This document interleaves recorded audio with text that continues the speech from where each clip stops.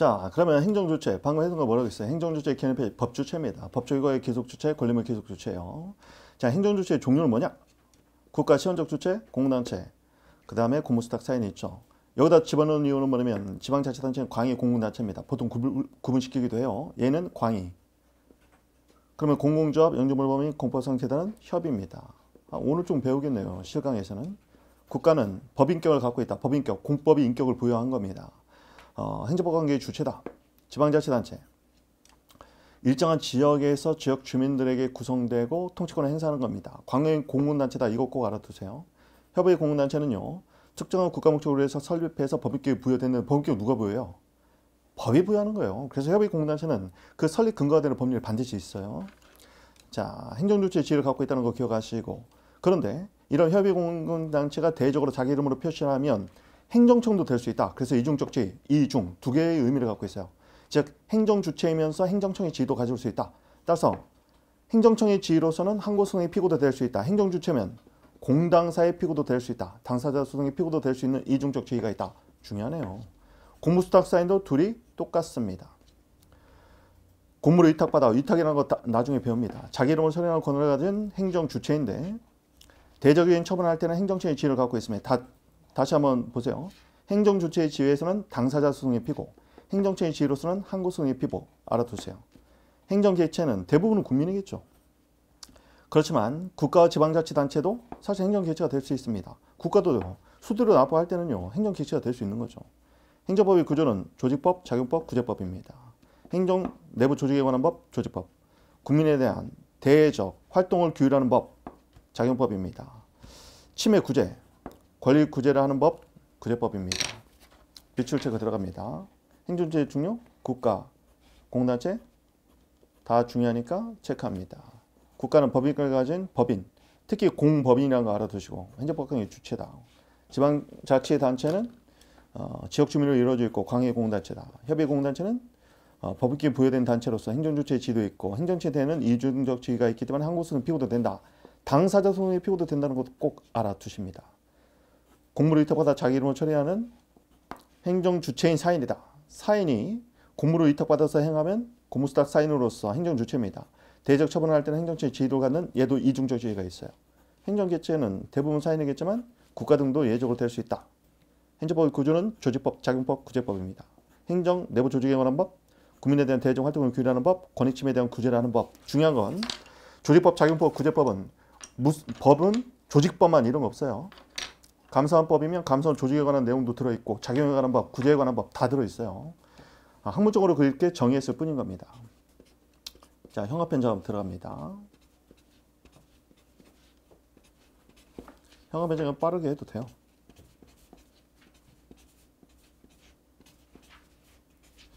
사인, 지방자치단체, 조직법, 자유법, 구조법 이 정도 딱 하고 나중에 이제 복습하는 과정에서 주황색을 찾습니다. 주황색 너무 많이는 하지 마세요. 주황색은 빠르게 훑어볼 때, 스킵할 때 의미를 갖습니다. 자, 행정주체의 종류에서는 국가 지방자치단체, 광해공단체가 지자체다. 알아두시면 좋겠고. 그리고 여기 종류는 다 알아두세요. 공공조합, 영주물법인 공법상 재단. 이 이름만 알아두시면 돼요. 특히 공공조합이 시험에서 많이 나왔어요. 공무스탁 사인 이것도 굉장히 중요하죠. 이중적 지위의 의미가 뭔지 행정주체이자 행정처의 지가 있다는 거 알아두십니다. 구조, 특히 뭐 작용법이 뭔지 정도 알아두면 되겠습니다. 자, 전체적으로 한번 쭉 훑어보셔야 됩니다. 행정법의 기초 개념 들어갑니다. 행정 아까 방금 앞에서 봤던 행정법 구조 중 행정조직법에서 문제가 되는 게 행정조직법 정주의, 행정권한법 정주입니다. 행정 조직에 관한 사항은 기본적으로 국민대표인 국회에서 법으로 정해야 돼요. 형식적 의미의 법률로 정해야 된다. 따라서 여기서 법정주의, 법으로 정한다 이 법은 형식적 의미의 법률이 되겠죠. 그리고 행정권과 법정주의가 연결되는 거예요. 법률에 의해서 권한이 부여돼야 됩니다. 이 권한은 당연히 공권력이고 공권력은요. 모든 국가 공권력은 주권으로부터 유리하고 주권은 누구에게 있다? 국민에게 있죠. 따라서 국민의 대표인 국회에서 정한 형식적 의미의 법률로만 조직과 권한이 만들어질 수 있다. 법률 요건 효과. 하나 이상의 법률 사실로 인정돼 이 내용은 알 필요 없어요. 행위와 사건으로 이루어져 있다. 행위는 행정주체인 행정청의 행위가 제일 맞겠죠. 그렇지만 사인의 행위도 있어요. 이걸 나중에 배웁니다. 법률 효과는 일정한 법률 요건에 의해서 효과가 발생하는 것인데 법률관계 변동, 발생, 변경, 소멸, 어제 암기하라고 했습니다. 행정입법은 내부자를 집어넣으면 되죠. 행정부 내부에서 이루어지는 법이다. 일반적 추상적 규율이다. 그리고 어, 행정상 이루어진 입법을 의미한다. 법규성 의무를 기준으로 법규 명령과 행정 규칙으로 나눠진다. 중요합니다. 법규는 국민의 권리물을 규율하는 일반적 추상적 규범. 규범에는 무슨 자가 숨어 있다. 법규범이 숨어 있어요. 법규란 법규범을 줄임말. 규범이란 법규의 법자가 빠진 말이에요. 따라서 법규는 범자가 빠져 있고 규범은 법자가 빠져 있어. 법규범, 법규, 규범. 똑같은 말이죠. 그런 법규명이 갖고 있는 성질 법규성이라고 부릅니다. 법규명령. 행정권이 제정하는 법규에서 즉 행정입법이죠. 이런 법규명령은 대통령령을 시행령으로 부른다. 이건 다 알아야 돼요. 총리령 부령을 시행규칙이라고 부른다. 국민의 권리물을 규율하는 새로운 법규를 창조할 수 있다. 아, 그리고 위임 자체는 개별적 구체적 위임을 받아야 된다. 규율의 성격은 일반적 추상적이지만 규율의 성격이 일반적 일반적 추상적인 거고 규율의 성격이 위임 내용 자체는 개별적 구체적인 거예요. 이거 헷갈리면 안 되겠죠. 행정규칙. 행정조직 내부에서 사무처의 기준을 정한 거다. 일반적 추상적이다. 얘도. 법규성이 인정되지 않는 것이 원칙이에요. 얘는 있습니다. 따라서 법규성을 창조하지 않으니까 위임도 필요 없는 거예요.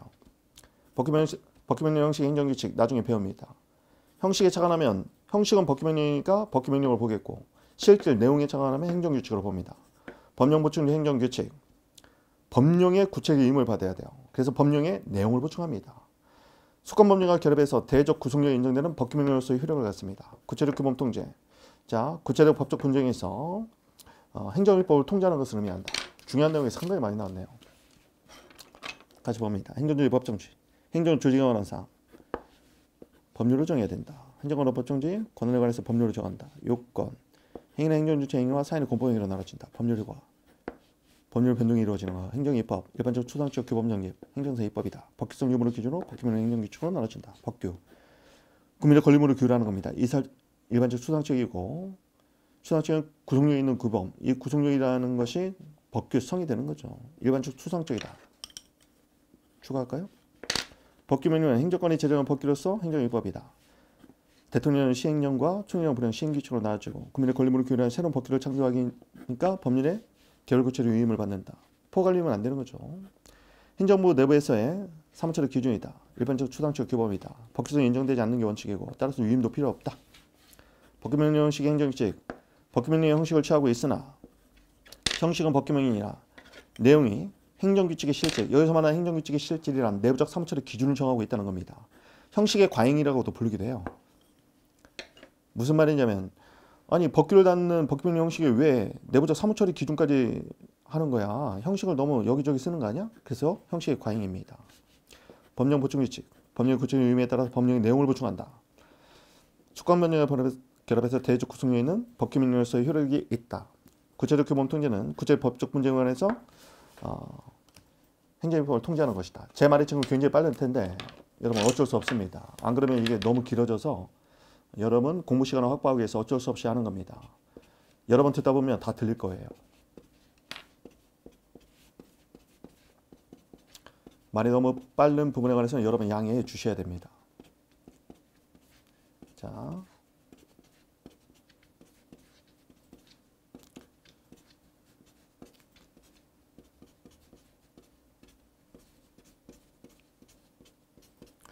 자.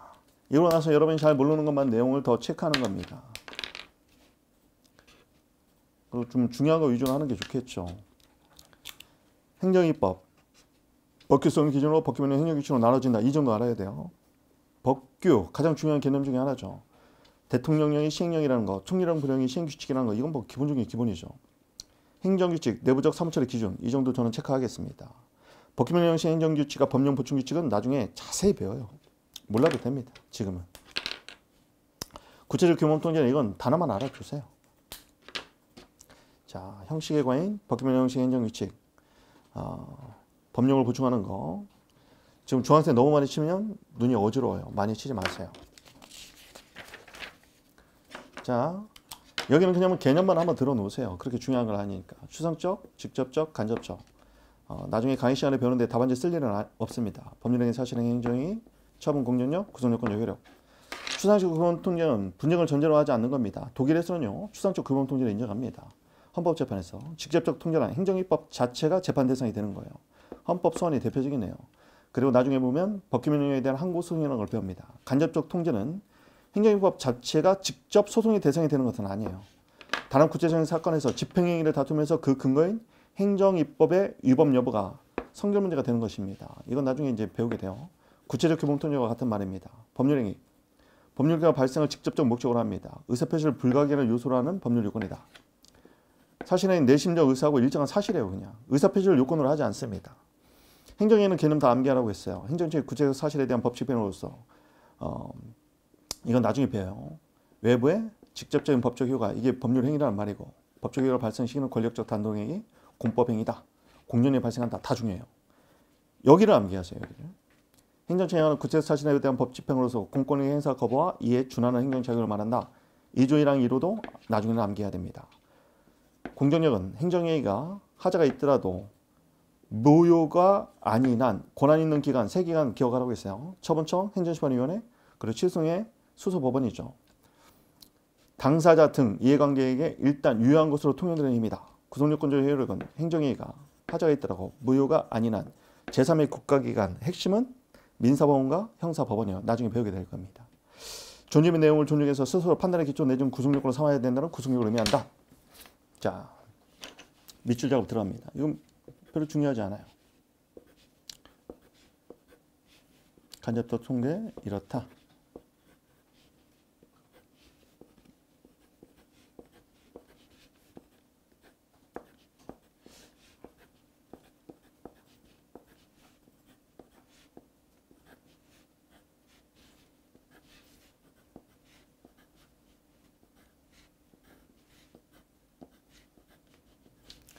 자 이렇게 밑줄을 철회해 주십니다. 현관 작업 들어갑니다. 이제 지금부터는 중앙색은 칠하지 않겠습니다. 여러, 여러분에게 이제 필요한 부분만 하세요. 지금 제가 칠하면 또 제가 칠한 데만 여러분이 중앙색을 칠할 가능성이 있으니까 이렇게 빠르게 저처럼 여러 번 보는 게 중요한 거지. 꼼꼼히 한 번 보는 것보다 여러 번, 세 번, 네 번, 다섯 번 보는 게 훨씬 더 중요하다. 그리고 그렇게 봤는데도 이해 안 되는 것만 나중에 선택과 집중을 통해서 집중한다. 기억하십니다. 여기서 그나마 간접적 통계라는 단어 정도는 좀 중요하고 성결 문제란 말이 앞으로 많이 나올 겁니다. 그리고 행정이라는 개념 중요하고요. 처분 개념 무조건 다 암기합니다. 공정이라는 개념도 상당히 중요해요. 유효하게 통용되는 힘입니다. 구속요건적 효력은 제3의 국가기관, 보통 민사형사법원입니다. 일단 여기까지 하도록 하겠습니다.